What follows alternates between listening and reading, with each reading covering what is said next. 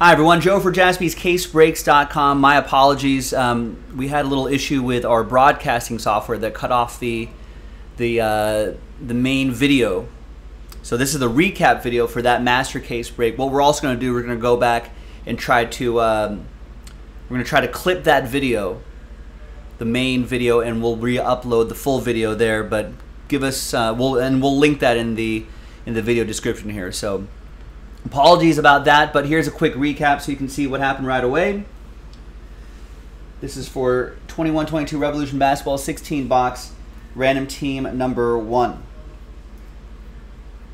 And again, we'll we're going to try to clip that full video and re-upload the full video um, hopefully by sometime tomorrow.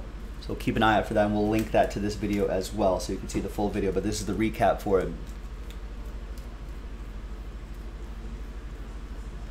And I think there were a lot of people watching this break as well. So here's the Galactic Anthony Davis, so they can vouch for for that and all of the, the hits that were pulled there. There's the Julius Randle,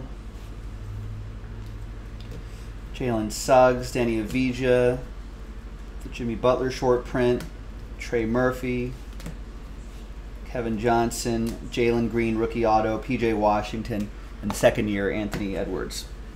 So that that was that for uh, Revolution RT number one, and here were the results of the randomizer there as well.